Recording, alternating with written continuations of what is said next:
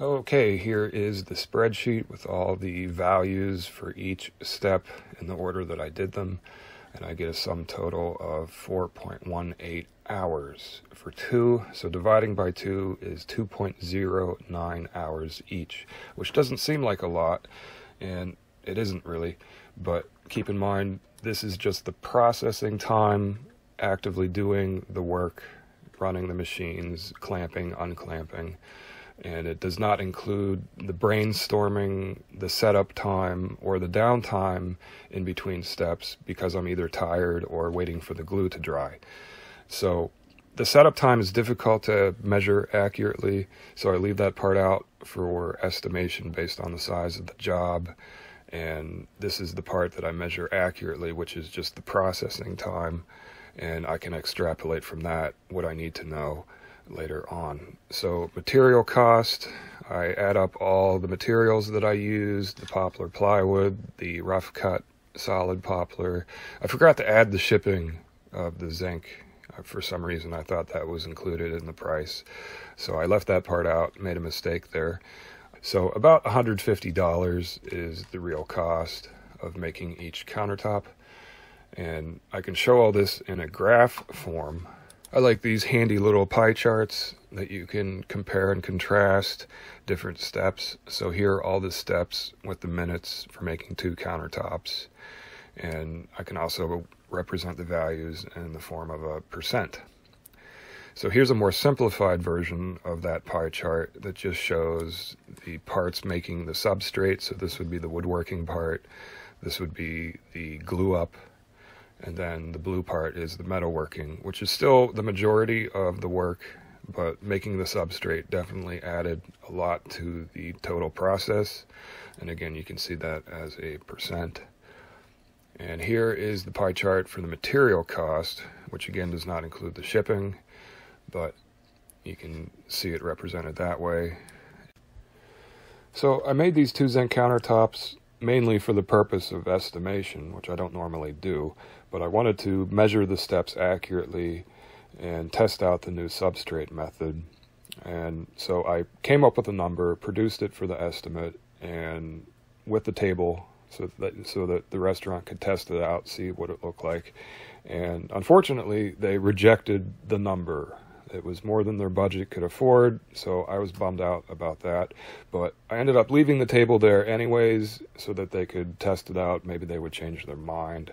And interestingly, they took it home and left it outside at a party.